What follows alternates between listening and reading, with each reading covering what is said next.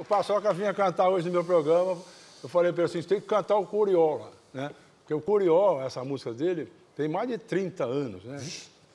É, porque foi, você cantou no Som Brasil há 32 anos atrás. É uma das primeiras gravações que você fez.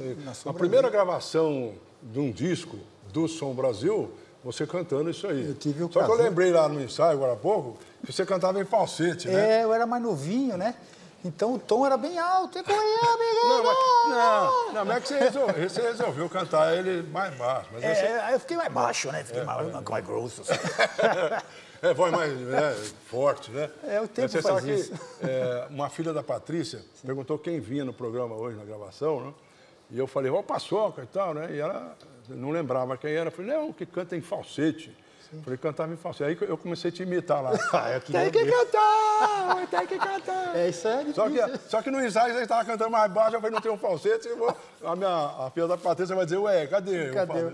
É não, mas verdade. essa- você mudou, mas ficou É, bonito. a ficou- música tinha feito numa tonalidade e a gente, às vezes, no começo, então cantava daquele jeito e o refrão ficava É alto. outra leitura agora também. É, né? outra leitura, Outra claro, leitura. interpretação. Eu acho muito interessante essa música, porque ela- é, você fez uma simbologia. Na época que ele lançou essa música, ele estava com uma turminha aí que, que defendia muito essa música brasileira de raiz, ligada à viola, tanto que ele gosta muito de viola, né?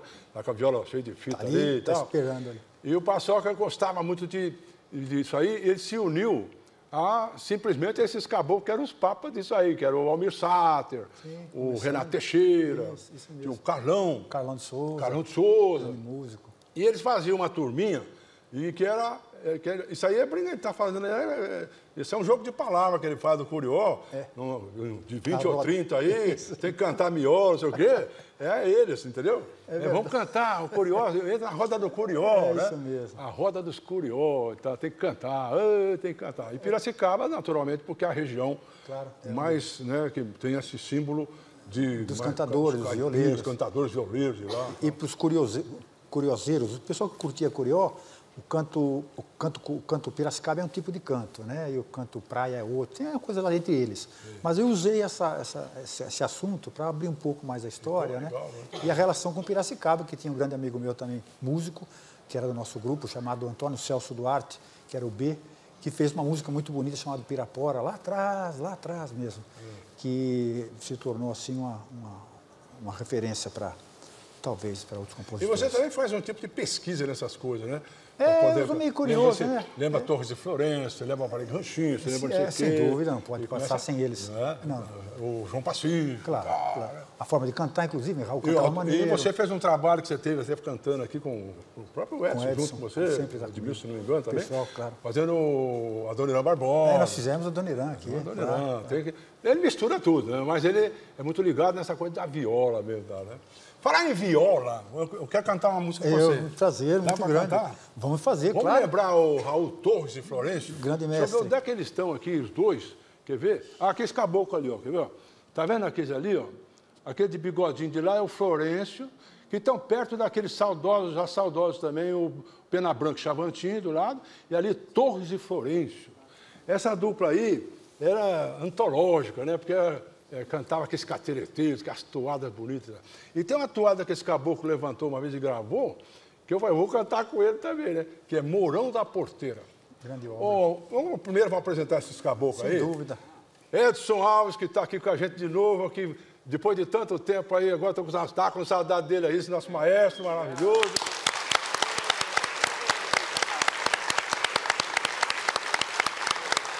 Edmilson Capelupo, que esteve aqui já outro dia também tocando aqui com o pessoal.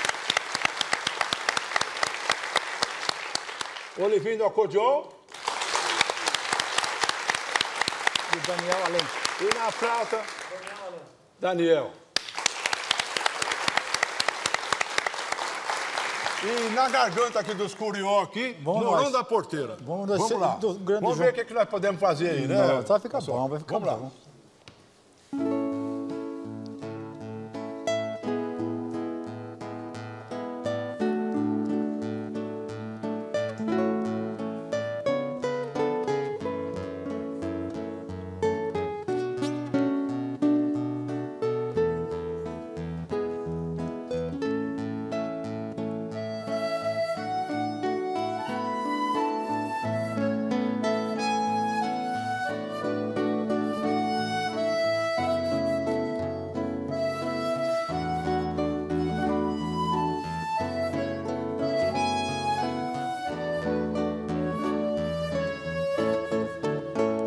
Lá no morão esquerdo da porteira, onde encontrei você pra despedir, tem uma lembrança minha derradeira.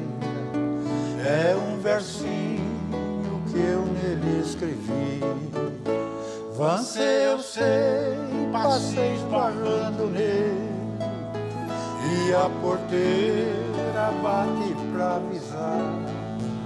Você não sabe que sinal é aquele e nem sequer se lembra de olhar.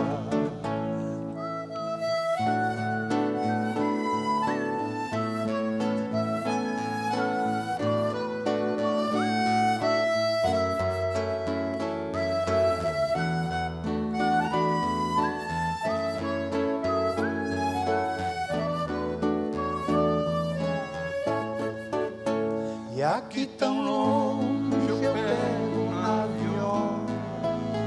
E aqueles versos eu começo a cantar.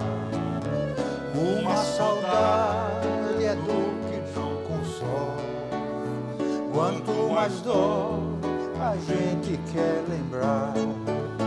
Você talvez não sabe o que é saudade. Uma lembrança você nunca Esquecer, às vezes tenho vontade, essa vontade